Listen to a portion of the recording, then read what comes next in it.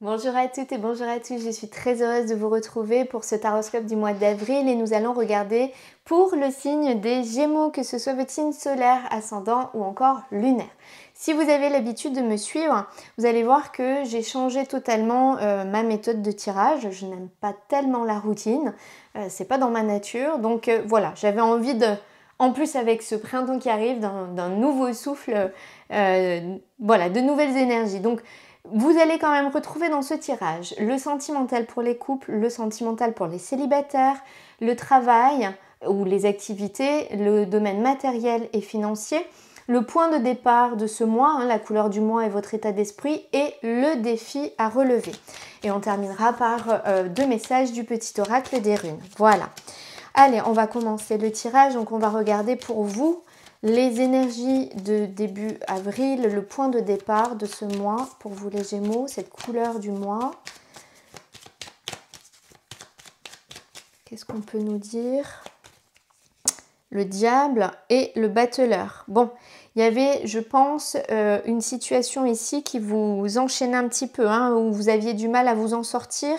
Euh, une complexité ici, quelque chose qui vous a un peu chamboulé, un peu inquiété, un peu torturé. Hein. Le diable, euh, il, met en lumière des parts d'ombre, hein. donc c'est quelque chose d'un peu inconfortable, mais sur le battleur, vous avez ces énergies de nouveau départ.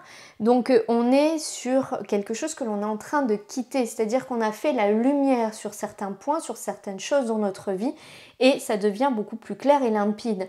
Et vers quoi vous vous engagez? Vers cette carte de l'empereur qui nous dit que voilà, on retrouve son alignement, on retrouve sa stabilité, on sait vers quoi on veut aller et on est prêt à mettre les choses en place ici. Donc très très belle énergie, très énergie bien ancrée, bien carrée, bien cadrée. Attention tout de même euh, à ne pas faire preuve de trop d'autorité, d'accord? Mais euh, voilà, on est, ancré, on, regarde droit devant et euh, il y, a cette, énergie très, très droite dans ses bottes, très, alignée en fait, hein, c'est ça. Pour moi, c'est cette notion d'être très aligné. Communication, échange et réalisation. Ok, on va regarder avec l'oracle d'Hildegarde le message complémentaire. Isolt, vous avez la carte de la femme. Alors ici, euh, dans votre état d'esprit, on vous dit, ça vient contrebalancer, je pense, cette énergie de l'empereur. On est en train de vous dire, ok, vous incarnez cet empereur qui est très droit, qui est rigide, qui est bien ancré, qui regarde droit devant, qui peut faire preuve d'un peu voire beaucoup parfois euh, d'autorité. Avec cette carte euh, de la femme, on vous dit d'arrondir un peu les angles, d'être un petit peu plus souple, d'être un peu plus connecté à son intériorité, moins dans le dur et dans le matériel, plus dans la douceur, dans la rondeur et plus dans l'émotionnel. Voilà, c'est une carte en fait qui vient équilibrer et vous dire, ok, ce mois-ci, on va essayer de, de comment dire, d'équilibrer le côté yin et le côté yang. Les moments où je suis dans cette douceur de la création, de l'introspection, de la, de la réflexion. Euh, dans le sentiment, dans la douceur, et puis je peux passer à l'action. Mais je temporise et j'équilibre toujours ces deux énergies. Donc ça, c'est le point de départ pour euh, le début du mois. On va regarder maintenant le défi, parce que vous avez un défi à relever ce mois-ci. Alors, quel va être votre défi à vous? Le défi pour les Gémeaux. Le jugement et le monde. Ah, le défi, ça va être vraiment de vous ouvrir ici, hein. de, renaître plus léger. Je pense qu'il y a vraiment quelque chose dont vous vous libérez euh, ce mois-ci. Et le défi, ça va être justement de vous extérioriser. Et euh, effectivement, mince, j'ai fermé la coupe. C'est pas grave. Mais euh, en dos de deck, vous avez ce monde et l'ermite, ces deux cartes qui sont pas opposées, mais vraiment très différentes, puisque le défi ici, c'est euh, de, faire preuve de sagesse, mais de ne pas euh, aller dans l'enfermement, de ne pas aller dans l'isolement, de ne pas aller au fin fond de sa grotte et de se couper du monde. Et justement, c'est ce que vous dit cette coupe avec le monde, c'est euh, ouvrez-vous. On avait la carte du jugement, il me semble, hein, l'autre.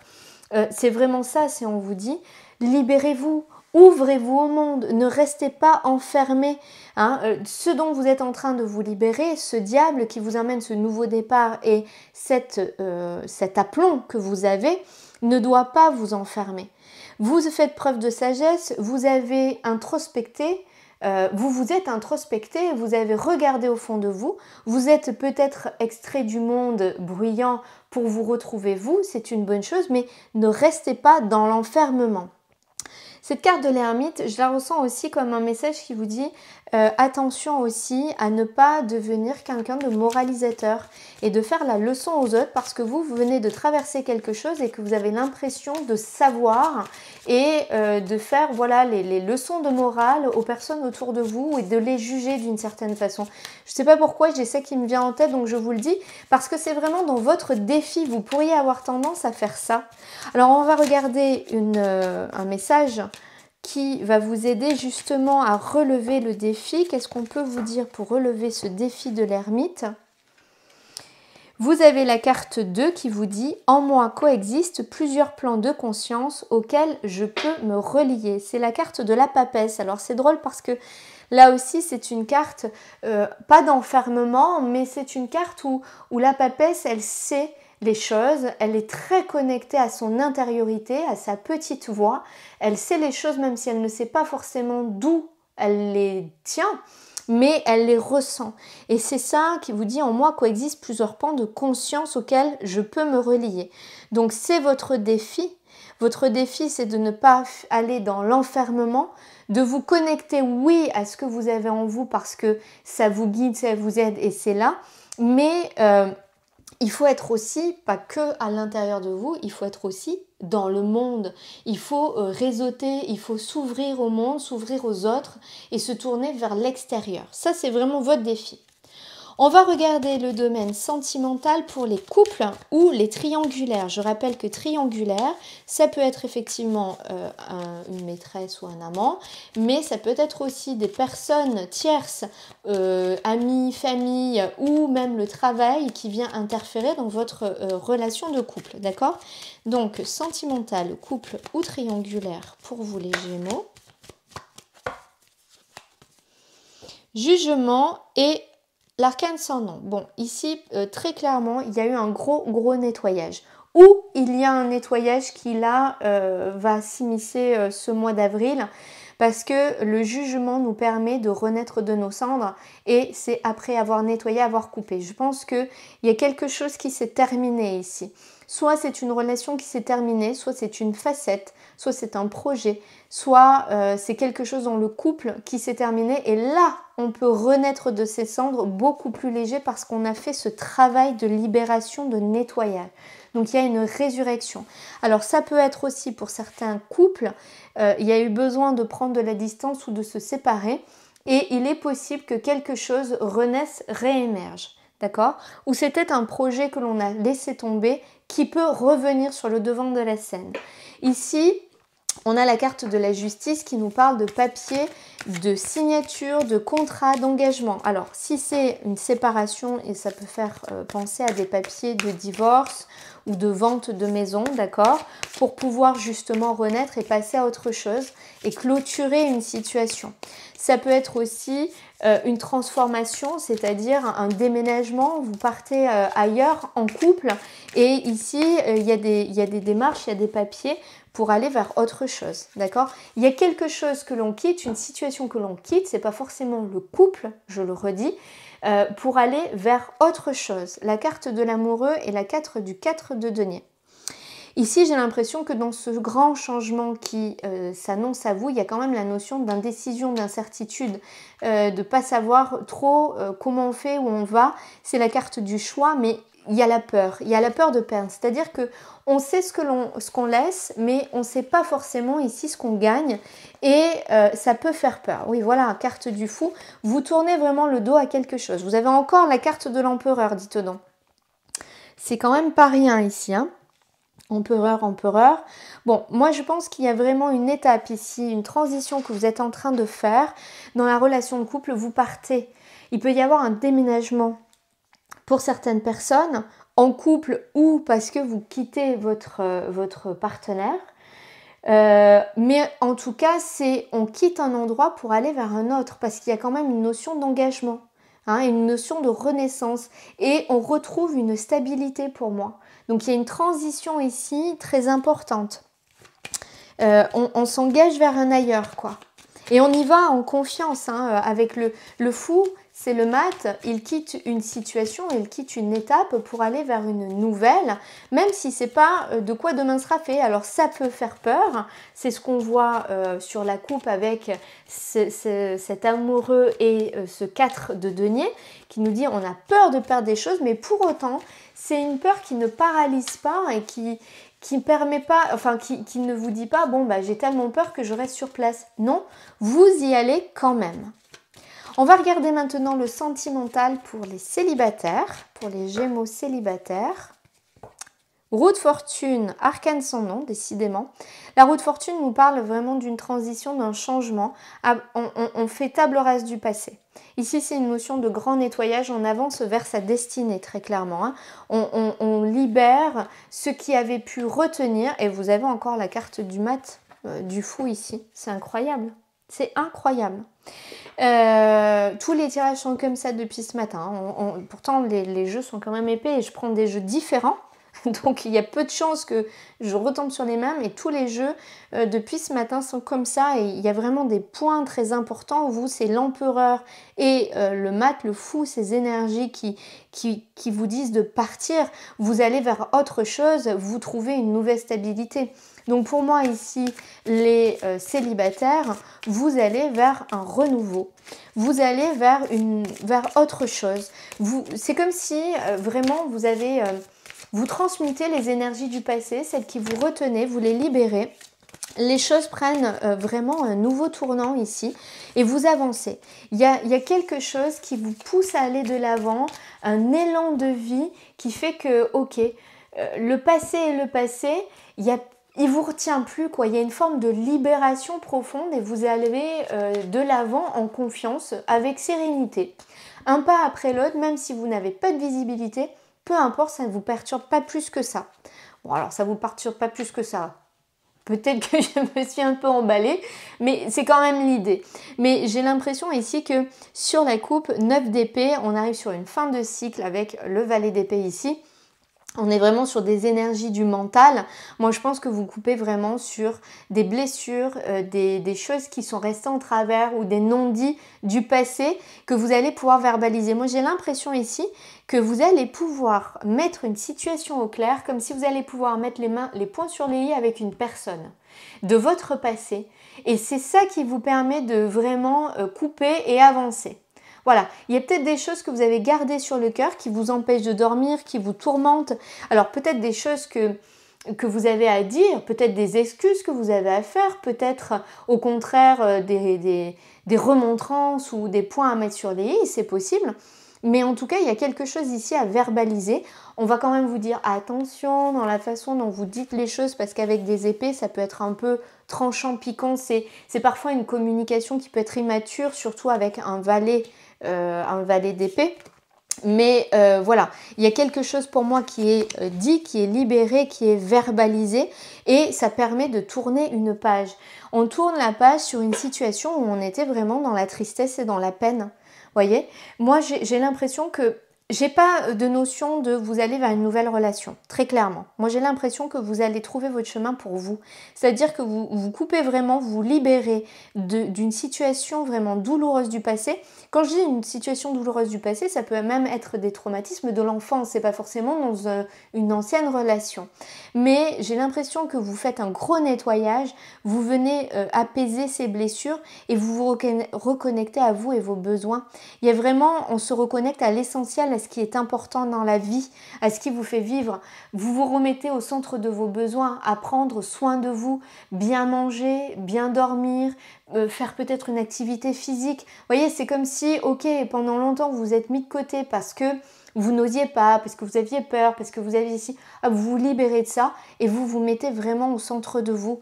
Alors, Forcément, ça sort dans le domaine sentimental parce que ça peut être aussi en lien avec les relations que vous avez avec l'extérieur.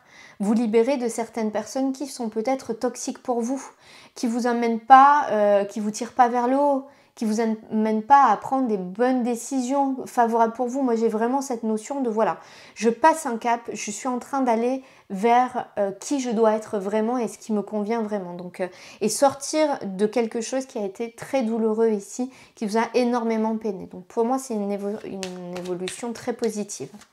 On va regarder le domaine professionnel ou des activités si vous n'avez pas de travail et, euh, ou si vous êtes retraité. Donc on va regarder le domaine des activités, le domaine professionnel pour vous les Gémeaux. La carte de l'étoile et du pendu. Bon, c'est drôle, hein, cette carte du pendu, euh, vous êtes le troisième tirage de la journée, troisième fois que le pendu sort. Hein. Il n'y a, pas, a pas à dire. J'ai l'impression que ces énergies du printemps, là, il y a des situations qui, trouvent des issues, des situations bloquées euh, qui trouvent des issues. Ici, on, vous dit que, voilà, vous êtes guidé, euh, même si ça prend un peu de temps, vous êtes guidé et vous allez trouver les solutions, les solutions dont vous êtes amené. Voilà. Soleil. Donc je ne sais pas ce que vous traversez euh, chacun euh, dans votre activité. Pour moi, sur une notion de blocage ici, bon, la situation va évoluer très favorablement pour vous. Avec la carte du soleil, c'est la lumière, c'est la réussite. On y voit clair sur la situation professionnelle ou de vos activités. Il y a quelque chose qui ramène de la joie, de, la chaleur, du partage, de l'entraide. Il y a vraiment quelque chose de de très lumineux, de très bienveillant, de très chaleureux quoi ici. Hein. Après, une période de blocage. As de denier, nouveau départ, 6 d'épée. Bon, il est possible pour certains ici que vous partiez, il y a un déménagement ou une mutation ici professionnelle pour signer un nouveau contrat. Il y a un nouveau départ. Hein. Euh, on commence quelque chose pour moi ici de nouveau. D'accord? Je, Alors, si vous êtes déjà dans une activité et que vous vous plaisez, ben très bien, peut-être que ce tirage ne vous correspond pas, ou alors peut-être que c'est dans ce que vous faites que vous avez un nouvel outil ou quelque chose de nouveau que vous mettez en place. Mais euh, moi, il y a quand même une notion ici de partir vers autre chose. Euh, encore une fois, ça peut être un déménagement, une mutation, euh, ça peut être un changement de bureau, hein, d'accord En tout cas, vous changez de place, vous restez pas là où vous êtes. Euh, vous partez vers autre chose. Et ce vers quoi vous partez, c'est un nouveau départ, un, nouveau, un nouvel engagement, un nouveau contrat. As de denier, on est dans la matière, donc c'est des accords, des signatures ici. Tempérance, nouvel équilibre qui se fait. Chevalier de coupe, quelque chose qui vous correspond parfaitement. Donc là, au niveau professionnel pour vous, il y a un changement qui est juste waouh. C'est waouh, c'est waouh. Non seulement ça vous convient, il y a une très très bonne ambiance dans l'endroit où vous allez ou dans ce que vous allez faire. C'est chaleureux. Il y a, vous savez, il y a souvent dans les entreprises, euh, il peut y avoir une notion de compétition. Ici, j'ai l'impression que euh, c'est presque associatif, c'est presque de l'entraide, du soutien. Au contraire, c'est la bienveillance. je pense qu'au niveau euh, comment on reconnaissance et rémunération, il y a quelque chose de très équilibré. Et en plus, vous êtes très très bien dans ce que vous faites. Chevalier de coupe, ça vous nourrit, ça vous parle. C'est quelque chose que vous faites avec le cœur et qui vous épanouit pleinement ici. Donc au niveau activité professionnelle, waouh, j'ai juste euh, pas d'autres mots que waouh. Voilà, un nouveau départ qui, euh, voilà, si vous avez des hésitations et si vous avez peur, parce que parfois c'est difficile et c'est stressant de d'amorcer un changement, surtout si vous êtes muté, j'ai envie de vous dire, allez-y les yeux fermés, c'est juste euh, magnifique. Vous n'oubliez pas que ça reste un, tirage général, bien évidemment. Hein.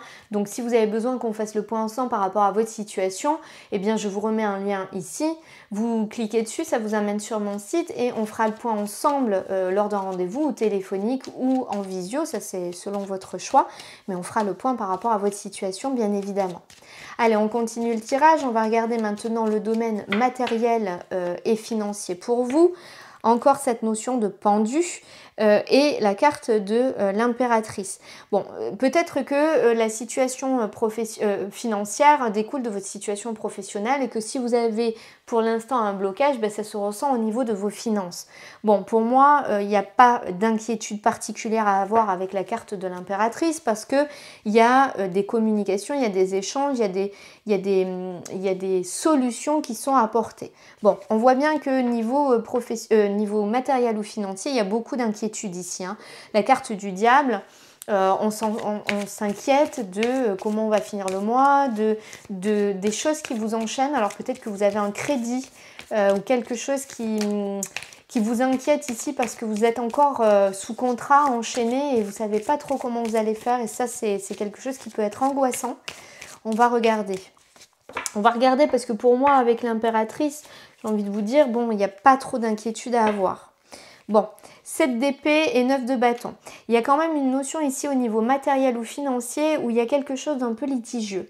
Un peu litigieux où vous êtes en train de régler euh, une problématique, mais c'est comme si vous étiez engagé euh, dans un contrat ou dans quelque chose qui n'est pas clair et que vous avez découvert au fur et à mesure qu'il y avait peut-être des clauses que vous n'aviez pas vues lorsque vous avez signé et que ben, vous les contestez un peu. Si vous avez l'impression que ça n'a pas été très clair, très franc, que ce pourquoi vous vous êtes engagé au départ, ce qu'on vous a dit, ben c'est pas tout à fait la réalité.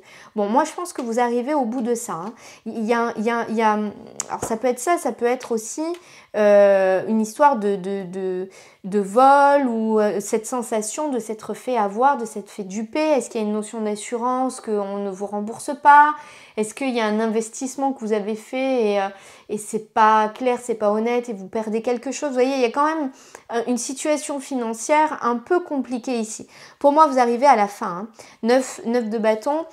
gardez confiance, la situation va, va s'améliorer là prochainement. Ça va évoluer.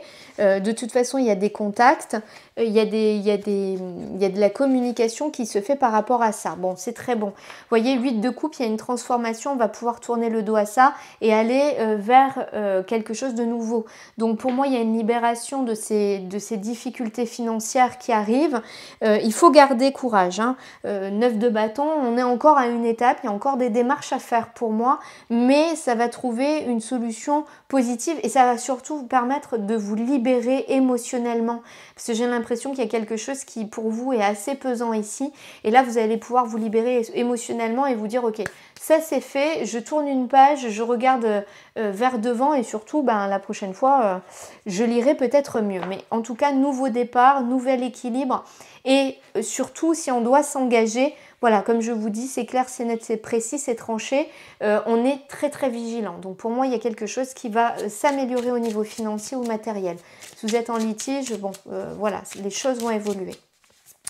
On va terminer le message, le tirage pardon, avec deux messages du petit oracle des runes pour vous les Gémeaux en ce mois d'avril.